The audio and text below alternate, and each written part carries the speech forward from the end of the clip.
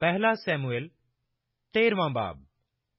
Saul تیس برس کی عمر میں سلطنت کرنے لگا اور اسرائیل پر دو برس سلطنت کر چکا۔ تو ساؤل نے تین ہزار اسرائیلی مرد اپنے لیے چنے۔ ان میں سے دو ہزار مکماس میں اور بیتل کے پہاڑ پر ساؤل کے ساتھ اور ایک ہزار بنیامین کے جبا میں یونن کے ساتھ رہے اور باقی لوگوں کو اس نے رخصت کیا کہ اپنے اپنے ڈیرے کو جائیں اور یونتن نے فلسطینوں کی چوکی کے سپاہیوں کو جو جبا میں تھے قتل کر ڈالا اور فلسطینوں نے یہ سنا اور ساؤل نے سارے ملک میں نرسنگا پھونکوا کر کہلا بھیجا کہ عبرانی لوگ سنیں۔ اور سارے اسرائیل نے یہ کہتے سنا کہ ساؤل نے فلسطینوں کی چوکی کے سپاہی مار ڈالے اور یہ بھی کہ اسرائیل سے فلسطینوں کو نفرت ہو گئی ہے۔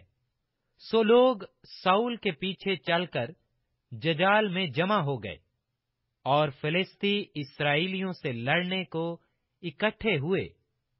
یعنی تیس ہزار رتھ اور چھ ہزار سوار اور ایک امبوا کثیر جیسے سمندر کے کنارے کی ریت، سو وہ چڑھ آئے اور مکماس میں بیت اون کے مشرق کی طرف خیمہ زن ہوئے۔ جب بنی اسرائیل نے دیکھا کہ وہ آفت میں مبتلا ہو گئے، کیونکہ لوگ پریشان تھے، تو وہ غاروں اور جھاڑیوں اور چٹانوں اور گھڑیوں اور گھڑوں میں جا چھپے۔ اور بعض عبرانی یردن کے پار جد اور جلاد کے علاقہ کو چلے گئے، پر سول ججال ہی میں رہا اور سب لوگ کانپتے ہوئے اس کے پیچھے پیچھے رہے اور وہ وہاں سات دن سیموئل کے مقررہ وقت کے مطابق ٹھہرا رہا۔ پر سیموئل ججال میں نہ آیا اور لوگ اس کے پاس سے ادھر ادھر ہو گئے۔ تب ساؤل نے کہا، سوختنی قربانی اور سلامتی کی قربانیوں کو میرے پاس لاؤ۔ سو اس نے سوختنی قربانی گزرانی، اور جو ہی وہ سوختنی قربانی گزران چکا تو کیا دیکھتا ہے کہ سیموئل آ پہنچا اور ساؤل اس کے استقبال کو نکلا تاکہ اسے سلام کرے۔ سیموئل نے پوچھا کہ تو نے کیا کیا؟ ساؤل نے جواب دیا کہ جب میں نے دیکھا کہ لوگ میرے پاس سے ادھر ادھر ہو گئے اور تو ٹھہرائے ہوئے دنوں کے اندر نہیں آیا اور فلسطی مکماس میں جمع ہو گئے ہیں، تو میں نے سوچا کہ فلسطی ججال میں مجھ پر آ پڑیں گے اور میں نے خداوند کے کرم کے لیے اب تک دعا بھی نہیں کی ہے۔ اس لیے میں نے مجبور ہو کر سوختنی قربانی گزرانی۔ سیموئل نے ساؤل سے کہا، تو نے بے وقوفی کی۔ تو نے خداوند اپنے خدا کے حکم کو، جو اس نے تجھے دیا نہیں مانا۔ ورنہ خداوند تیری سلطنت بنی اسرائیل میں ہمیشہ تک قائم رکھتا، لیکن اب تیری سلطنت قائم نہ رہے گی، کیونکہ خدا نے ایک شخص کو جو اس کے دل کے مطابق ہے، تلاش کر لیا ہے۔ اور خداون نے اسے اپنی قوم کا پیشوا ٹھہرایا ہے۔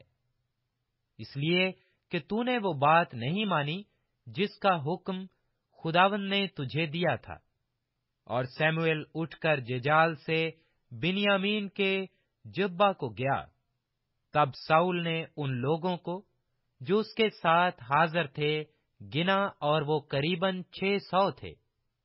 اور ساؤل اور اس کا بیٹا یونتن اور ان کے ساتھ کے لوگ بنیامین کے جبا میں رہے، لیکن فلسطی مکماس میں خیمزن تھے۔ اور غارت گر فلسطیوں کے لشکر میں سے تین گول ہو کر نکلے۔ ایک گول تو سوال کے علاقہ کو افورا کی راہ سے گیا۔ اور دوسرے غول نے بیت ہورون کی راہ لی اور تیسرے غول نے اس سرحد کی راہ لی جس کا رخ وادی زبوئیم کی طرف دشت کے سامنے ہے۔ اور اسرائیل کے سارے ملک میں کہیں لوہار نہیں ملتا تھا، کیونکہ فلسطینوں نے کہا تھا کہ عبرانی لوگ اپنے لیے تلواریں اور بھالے نہ بنانے پائیں۔ سو سب اسرائیلی اپنی اپنی بھالی اور بھالے اور کلہاڑی اور کدھال کو تیز کرانے کے لیے فلسطینوں کے پاس جاتے تھے۔ پر گدھالوں اور پھالیوں اور کانٹوں اور کلہاڑوں کے لیے اور پنیوں کے درست کرنے کے لیے وہ ریتی رکھتے تھے۔ سو لڑائی کے دن ساؤل اور یونتن کے ساتھ کے لوگوں میں سے کسی کے ہاتھ میں نہ تو تلوار تھی، نہ بھالا۔ لیکن ساؤل اور اس کے بیٹے یونتن کے پاس تو یہ تھے۔ اور فلسطینوں کی چوکی کے سپاہی نکل کر مکماس کی گھاٹی کو گئے۔